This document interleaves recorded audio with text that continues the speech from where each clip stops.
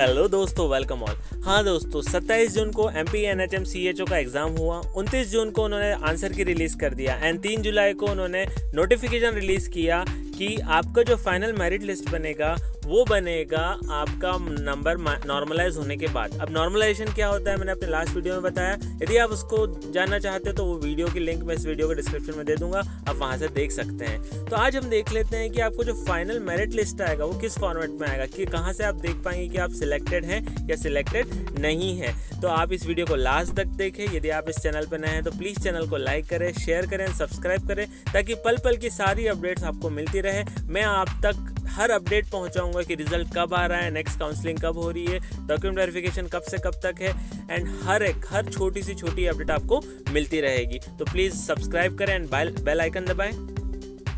तो आइए दोस्तों, देख लेते हैं क्या होगा रिज़ल्ट का फॉर्मेट तो आप देख सकते हैं स्क्रीन पे, यहाँ पे आपका नाम होगा ठीक है?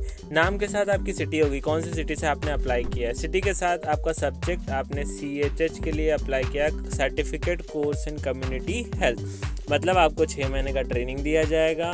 ट्रेनिंग के टाइम पे आपको कुछ स्टाइफन मिलेगा, दस से ग्यारह हज़ार रुपये उसके बाद फिर आपको डिपोर्ट किया जाएगा जहाँ भी वैकेंसी खाली है।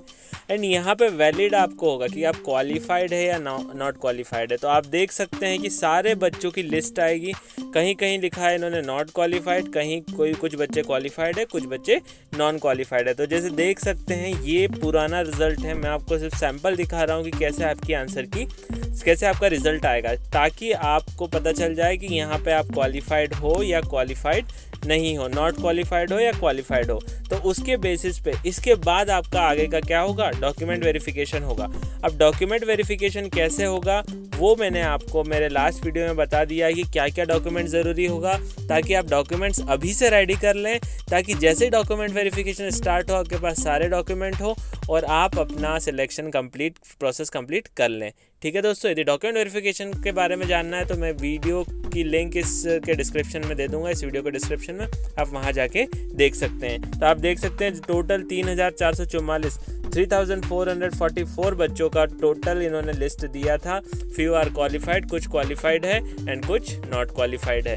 तो ये था इस फॉर्मेट में आपका रिज़ल्ट आएगा। तो ये मैंने आपको डिटेल्स बता दिया है।